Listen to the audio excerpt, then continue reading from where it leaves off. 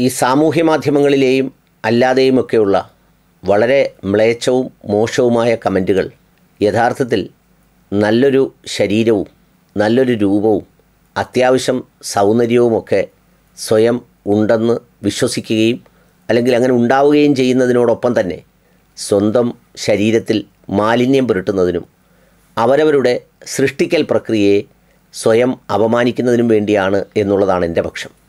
കഴിഞ്ഞ ദിവസം ഒരു സ്ത്രീ സാമൂഹ്യ മാധ്യമത്തിലൂടെ പ്രവാചകനുമായി ബന്ധപ്പെട്ട ഒരു വീഡിയോ പുറത്തുവിടുകയുണ്ടായി. അതിനെതിരെയൊക്കെ നിയമപരമായ കേസുകളും മറ്റുള്ളതൊക്കെ കൊടുക്കുന്നൊരു സ്ഥിതിവിശേഷമുണ്ടായി. അതോടൊപ്പം ഇന്ന് രാവിലെ നോക്കിയപ്പോഴാണ് വളരെ നല്ല സൗകുമാര്യവും നല്ല വ്യക്തിത്വവുമുണ്ടെന്ന് തോന്നിപ്പിക്കുന്ന ഒരാളിന്റെ ഏറ്റവും മനോഹരമായ ഒരു പദപ്രയോഗവും കാണാനിടയാണ് നിഷ്പക്ഷ നിലപാടിൽ. അതിനെക്കുറിച്ചാണ് എനിക്ക് പറയാനുള്ളത്. പണ്ടൊക്കെ ഒരു മനുഷ്യൻ മോശമാണെങ്കിലും നല്ലതാണെങ്കിലും അവന്റെ ഏറ്റവും ഇമ്മീഡിയറ്റ് ആയിട്ടുള്ള സറൗണ്ടിങ്സിൽ മാത്രമേ അത് പ്രതിഫലിക്കുകയുള്ളായിരുന്നു. അവിടങ്ങളിൽ നേരിട്ട് ബന്ധപ്പെടുന്നവർ കുടുംബങ്ങളിൽ അറിയാവുന്നവർ അയൽപ്പക്കക്കാർ തൊഴിലെടുക്കുന്ന സ്ഥലങ്ങളിലൊക്കെയാണ് ഇത്തരം മനുഷ്യരെ തിരിച്ചറിയാൻ കഴിയുന്നത്. എന്നാൽ ഇന്ന് സാമൂഹ്യ മാധ്യമങ്ങൾ വളരെ പ്രചുരപ്രചാരം നേടിയതോടുകൂടി ഈ പറയുന്ന വ്യക്തിത്വത്തിന്റെ നല്ല ഗുണങ്ങളും മോശം ഗുണങ്ങളും ഒരു പൊതുസമൂഹത്തെ ആകെ അറിയിക്കുന്നതിനാവശ്യമായ വാതിൽ മലർക്ക തുറന്നിട്ടുണ്ട്. ആ തുറന്ന വാതിൽ എങ്ങനെ ഉപയോഗിക്കണം എന്തിനു ഉപയോഗിക്കണം എന്നുള്ളത് ഓരോരുത്തരുടെയും വ്യക്തിപരമായ കാര്യമാണ്. ചിലപ്പോൾ സ്വകാര്യ ബന്ധങ്ങളിലോ അല്ലെങ്കിൽ അത്തരം ഏർപ്പാടുകളിലോ ഒക്കെ മനുഷ്യൻ അവന്റെ ഏറ്റവും പ്രിയപ്പെട്ട ഇഷ്ടങ്ങളോ സന്തോഷങ്ങളോ ഒക്കെ പങ്കുവെക്കുന്നവരുണ്ടാവാം.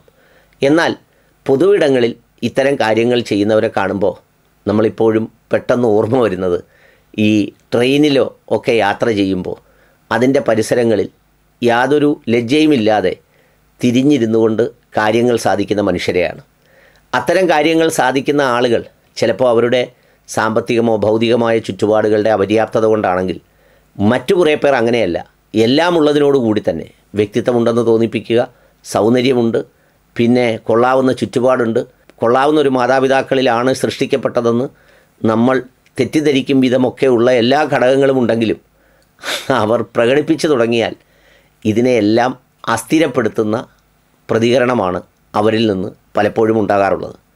കഴിഞ്ഞ ദിവസം ഒരു സ്ത്രീ സാമൂഹ്യ മാധ്യമത്തിലൂടെ പ്രവാചകനെക്കുറിച്ചും പ്രവാചകന്റെ ജീവിതത്തെക്കുറിച്ചും അവരുടെ മാതാവിനെക്കുറിച്ചുമൊക്കെ സംസാരിക്കുകയുണ്ടായി. അങ്ങനെ ഏതെങ്കിലും ഒരു വിശ്വാസത്തിന്റെ അല്ലെങ്കിൽ ആരെങ്കിലും വിശ്വസിക്കുന്ന അല്ലെങ്കിൽ വിശ്വസിക്കാത്തവരാകട്ടെ ഒരു വ്യക്തിയെക്കുറിച്ച് അങ്ങനെ പറയണമെങ്കിൽ ആ പറയുന്ന വ്യക്തിയല്ല പറയപ്പെടുന്ന ആളാണ് അവരുടെ ഈ സ്വന്തം അനുഭവങ്ങളും ജീവിതാനുഭവങ്ങളും സൃഷ്ടി വൈകല്യങ്ങളും ഒക്കെ വെളിപ്പെടുത്തുന്നത്. അതുകൊണ്ട് തന്നെ ആ വീഡിയോ പ്രചരിപ്പിക്കുന്നത് ശരിയല്ലാത്തതുകൊണ്ട് ആ വീഡിയോ ഞാനിവിടെ കാണിക്കുന്നില്ല.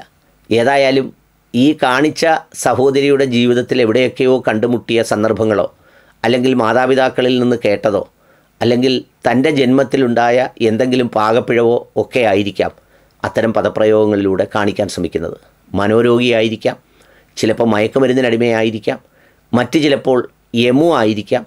ഇനി അതുമല്ലെങ്കിൽ വേറെന്തെങ്കിലും തരത്തിലുള്ള മാനസിക വൈകല്യങ്ങളോ എന്തെങ്കിലും ഉള്ളവരായിരിക്കാം. നമ്മൾ റോഡിലൂടെ ഈ മാനസിക നില തെറ്റിയവർ അല്പവസ്ത്രധാരികളായോ വസ്ത്രമില്ലാതെയോ ഒക്കെ പോകുമ്പോൾ പൊതുസമൂഹം അവരെ നോക്കി സഹതപിക്കുകയല്ലാതെ മറ്റൊന്നും ചെയ്യാറില്ല. അതുകൊണ്ട് തന്നെ സഹതാപമാണ് അതിലേറ്റവും ഉചിതമായ വികാരം എന്നെനിക്ക് തോന്നുന്നു. നിയമപരമായ നടപടികൾക്കൊക്കെ ആരൊക്കെയോ നീങ്ങിയിട്ടുണ്ട് എന്നൊക്കെ സാമൂഹ്യ മാധ്യമങ്ങളിലൂടെ അറിയാൻ കഴിഞ്ഞു.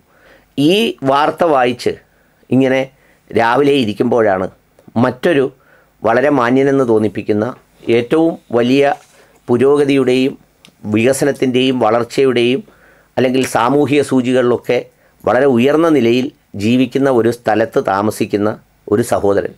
അദ്ദേഹത്തിന്റെ പേര് ഇഗ്നേഷ്യസ് ആന്റണി എന്നാണ്. അദ്ദേഹത്തിന്റെ പ്രൊഫൈൽ പിക്ചർ വലിയ ഭക്തിമാർഗമാണ് അദ്ദേഹം സ്ഥാപിച്ചിട്ടുള്ളത്. പിന്നെ മാതാപിതാക്കളുടെ ചിത്രവും വെച്ചിട്ടുണ്ട്. മാതാപിതാക്കളുടെ ചിത്രം സാധാരണ വെക്കുന്നത് മക്കൾ ആ പൈതൃകത്തിൽ അഭിമാനിക്കുമ്പോഴാണ്. ആ അഭിമാനിക്കത്തക്ക നിലയിലാണ് പെരുമാറേണ്ടത് മക്കൾ മാതാപിതാക്കളോട്. ഇദ്ദേഹം ഒരു കോൺഗ്രസ്സുകാരനുമാണെന്ന് തോന്നുന്നു. വളരെ വികാരപരമായി കോൺഗ്രസിന്റെ പല പോസ്റ്റുകളും അദ്ദേഹം ഷെയർ ചെയ്തിട്ടുണ്ട്. അദ്ദേഹം ഒരു വിഷയത്തെക്കുറിച്ച് ഞാൻ എഴുതിയ വാക്കുകളിൽ എഴുതിയിരിക്കുന്നത് അദ്ദേഹത്തിന് മുടിയാണ് എന്നാണ്. മുടിയുടെ രോഗമുള്ള ആളാണ്. ചിലർക്കങ്ങനെയാണ് മുടിയുടെ രോഗം ഗർഭപാത്രത്തിൽ ഉത്ഭവിക്കുന്ന സമയം മുതൽ ഉണ്ടാകാറുണ്ട്. ആ മുടിയുടെ രോഗം ഇടയ്ക്കൊക്കെ പുറത്തു വരും. അത് നമ്മളൊക്കെ തന്നെ ചിലപ്പോൾ എന്തെങ്കിലുമൊക്കെ കാര്യത്തിൽ സ്വകാര്യമായി നമ്മൾ കേൾക്കേണ്ട ഒരാളിനോട് വ്യക്തിപരമായ എന്തെങ്കിലും സൗഹൃദ വേളയിലൊക്കെ പറഞ്ഞിട്ടുണ്ടാകാം. എന്നാൽ സാമൂഹ്യ മാധ്യമങ്ങളിൽ വന്ന് ഇങ്ങനെ ധൈര്യപൂർവം എഴുതണമെങ്കിൽ സത്യം പറഞ്ഞാൽ ആ പ്രൊഫൈൽ പിക്ചറിൽ കൊടുത്തിരിക്കുന്ന മാതാപിതാക്കൾ അഭിമാനിക്കുക തന്നെ വേണം. ഇങ്ങനെ ഒരു മോൻ ഉണ്ടായതിൽ ജനിച്ചതിൽ. ആ മോൻ അങ്ങനെ ഒരു നാട്ടിലെത്തിയിട്ടും മാറാതെ ആ പൈതൃകത്തിന്റെ മനോഹാരിത സൂക്ഷിക്കുന്നതിൽ.